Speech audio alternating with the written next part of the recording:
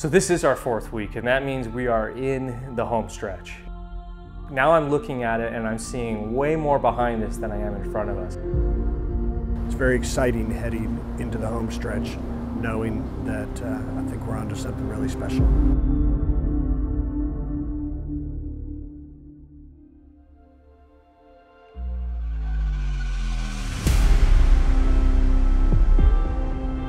You know, with any film we make, the canvas on which we tell our story is such a critical element of our process.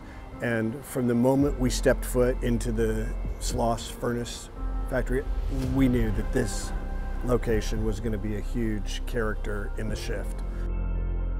And one of the first places we visited was Sloss Furnace, and it was one of those like incredible, incredible locations that made us think, wow, whatever we do, we have to shoot in this place. So much so that I went back, I looked at the script, and I just thought through every single scene and just tried to figure out what could we rewrite that it would actually fit at Sloss Furnace. You can just create your own world, and that's why this story was so interesting to me, and that actually was a big uh, component as to why I wanted to be a part of this. Uh, we're so grateful as storytellers to have the opportunity to put all this to work. I know that what's on the page, the script is so important, the actors that we cast, the crew we put around the movie. Being able to tell the story in the right environment, and I think we've found that with Sloss.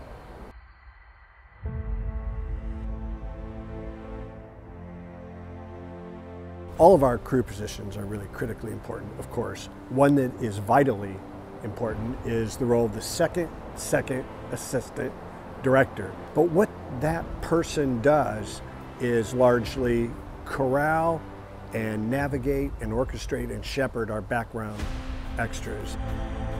My, my primary objective today, uh, we have a huge kind of crowd protest scene, uh, and I have a group of people that are going to be behind that barricade back there, and they are protesting the injustice of our Lancers.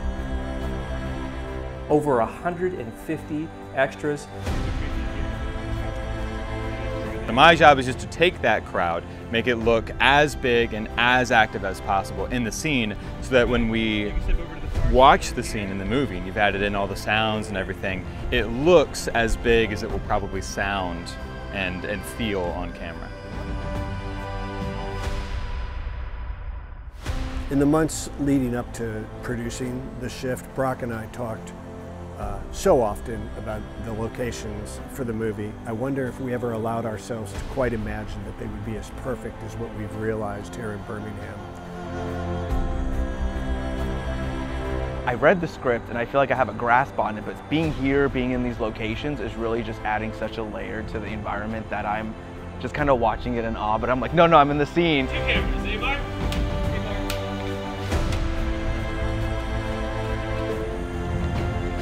Birmingham just checks all the location boxes for us.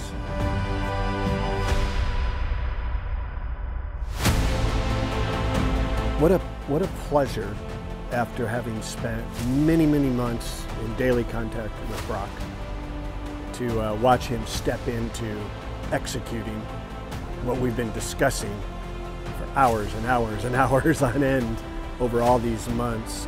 It's a real joy to watch that vision that he's been incubating for years finally take flight. He looks with wonder and amazement at the cast and the crew and the locations, and, and I know he's full of gratitude and uh, as a producer, it's just, it's really exciting to see a director step into uh, what he's dreamt of doing and to do it well.